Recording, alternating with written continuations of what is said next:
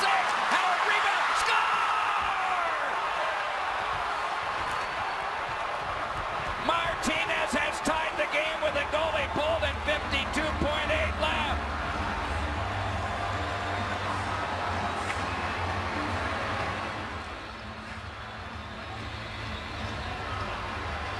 As you mentioned, Doc, Jonathan Quick gets to the bench, and it's Kyle Clifford who shoots this puck, and it becomes a two-on-one in front of the net. Carter's there, and Martinez, a defenseman who sneaks in and finds himself in front. A backhander ties it up late. Keith and Mike talked about hockey luck. This is a little bit of hockey luck. Detroit had a lot of guys on the ice for a long period of time. One of them was Drew Miller. He couldn't win a